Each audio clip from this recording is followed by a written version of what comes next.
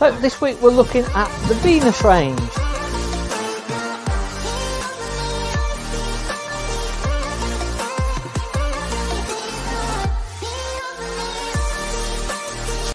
This was a brand in its own right, introduced by Lunar in about 2011-12 and it was an ultra lightweight brand uh, and it is a brand of its own so it's lightweight emphasis it's the Venus 586 it's about 24 feet just over 24 feet six berth and it's only 1395 kilograms. So let's have a look inside and see what it's like.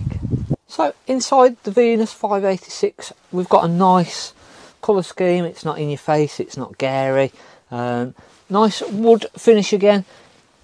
You, you do get a sense that it is a a cheaper range which it's not really getting away from that that when back in 2012 they started just over 10,000 pounds so they were a budget van um, lose on lighting around the front area so we've only got two spotlights so I can imagine if you were full darkness you're going to need an extra lamp or something like that. But for the money, good seating area at the front, which this makes into a double bed. I've got the side dinette and the bunk bed, so again, another two there. We've actually got another two fixed bunk beds in the back corner and a separate shower and to toilet in the rear too. In this kitchen area, nice amount of workspace. We've only got the three burner hob, but do we really need any more than that? and then we've got the combined grill and oven in the one there we've got the microwave and again plenty of storage all the way around really um, nice big wardrobe and as I say we've got the the other two bunk beds there. And again a decent washroom for a family of six.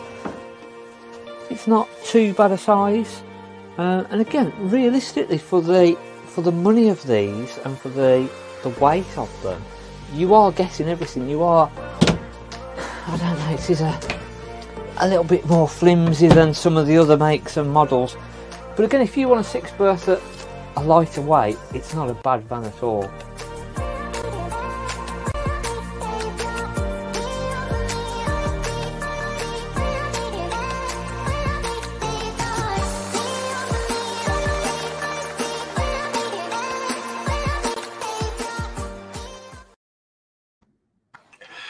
That's a lovely looking Venus, that is, Mark.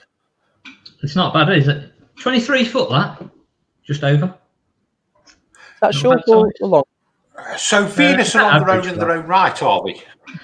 Yeah, they're, they're built by Lunar, uh, but as a, a separate brand. Uh, and it was just an ultra lightweight brand that they'd sort of brought in. And to be fair, if if anything does happen with Lunar, it would be a shame to lose that brand. It really would. My only fear with that van is, like you say, it does look a bit flimsy, and it's a family van. Um, it's going to get the proverbials kicked yeah. out of it, isn't it?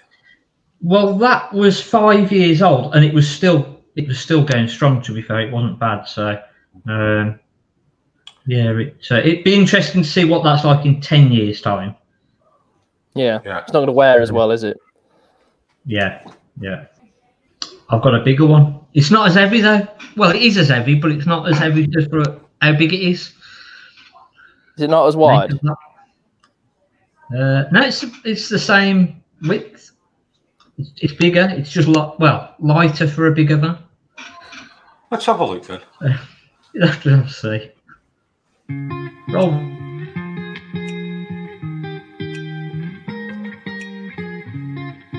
Our next video is for the Venus 626. Now this is on a twin axle, so we've got two sets of wheels. It's about two foot bigger than the last one that we saw, and believe it or not, it's only 100 kilograms heavier on the maximum weight. So 1500 kilograms maximum weight on this. Twin axle, 26 foot, 1500 kilograms. I, can't even believe it myself when I'm saying it and it's written on the side. It definitely is 1500 kilograms. Um, which is amazing. You do lose out on, there's no external locker storage, so, so, you get the weight down on that way. Um, but again, it, it's amazing that they've actually got the weight as low as they have. Uh, let's have a look inside and see what, what we've lost or what we've not lost. So we're inside of the Venus 626 and believe it or not, this is two years newer than the single axle that we looked at before, but it's pretty much identical. Um, it's still very much the same sort of design with the cabinetry and cupboards etc I think they've probably kept the same. And again that's probably helped to keep the price down is that they've run the build for a good couple of years and they've been able to use the same parts so get the parts cheaper the materials again is, is identical.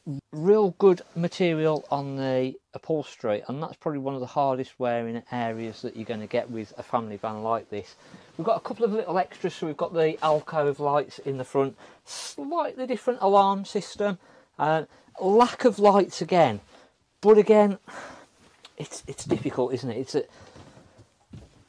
it's a hard one to sort of get your price and your weight down and still want everything at the end of the day. You've you've got to make sacrifices and compromises. But again, look at it. It's it's a perfectly usable van. Yes, this this actually does feel slightly better quality than the last one, but not not a lot. But again, it's a cracking fixed bed, nice side deck. Where are you going to get another six berth at 1500 kilograms?